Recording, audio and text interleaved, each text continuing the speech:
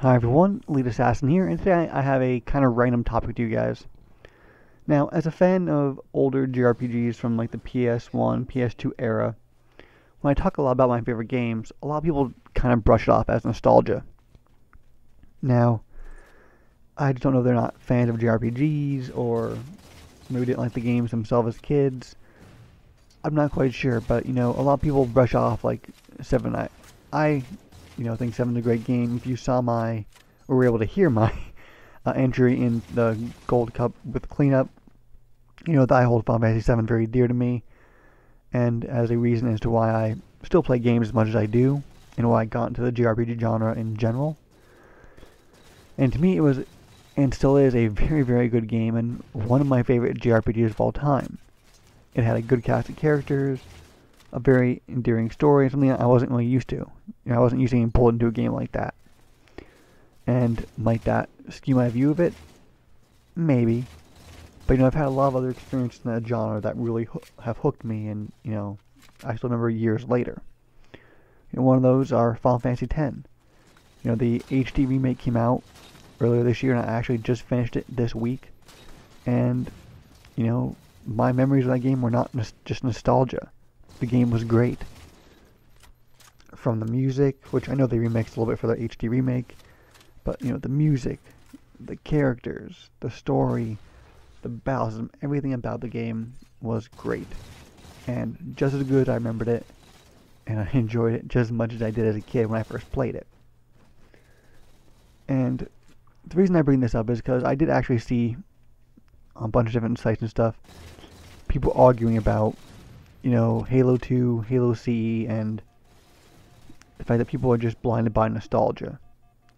You know, they just they can't see that Halo has gotten better since then, and people just look into the past and you know their memories of what they think was good when they were kids and younger.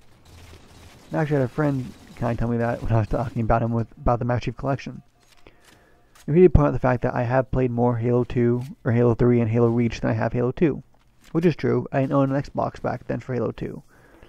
Most of my time playing Halo 2 was over friends' houses, which I think he doesn't quite, you know, he didn't quite account for that. He kind of for more what's on my tag. But you know, he goes, you know, it's just kind of nostalgia, and in his opinion, Halo 3 was the better game. Now that's also the game he started playing Halo with, the one that he would put the most time into, I believe, or maybe Halo Reaches. I'm not quite sure. But you know, Halo 3 was the game he got his 50. Halo 3 was the game he played an absolute, you know, shit ton. And for him, that game is the definitive Halo experience for him. Granted, I do think he did like um, Reach's V7 MLG quite a bit too. But you know, to him, Halo 3 was the better game, and because he didn't play much Halo 2, he kind of knocks on it and you know it's just nostalgia. Halo 3 is the better game in every way. His opinion, he's entitled to it. But you know, to me, I still think Halo 2 is a great game. Now, when I try to defend myself about it, you know, my memories of Halo 2 are very vague. And it has been quite a long time since I played the game. But you know, when it comes down to it, I'm like, you know, the maps were great. I really go and think of very few Halo 2 maps I don't like.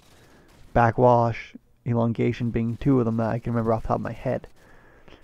But there were so many maps in that game that I just absolutely enjoyed. You know, I enjoyed how the brute shot bounced around corners, which is something that it hasn't done since.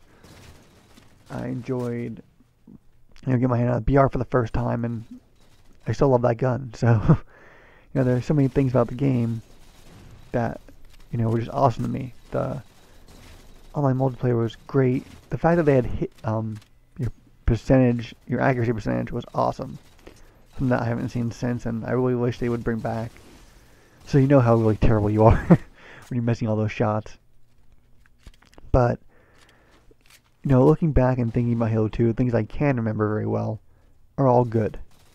And after watching streams from Elementary and a few other people with Halo 2 Vista and Xbox Connect and stuff like that, I think I'm pretty sure that it's not just nostalgia blinding me when it comes to how good Halo 2 is. And I can't wait for the Master Chief Collection to come out and show a lot of these people who haven't had time to really put time into Halo 2 you know, what it's all about and how good the game really is. So, you know, I was kind of curious with you guys, you know, what are your favorite Halo 2 memories? And let me know some older games that you guys hold dear. You know, what are some of your old favorites from back in the day if you have any?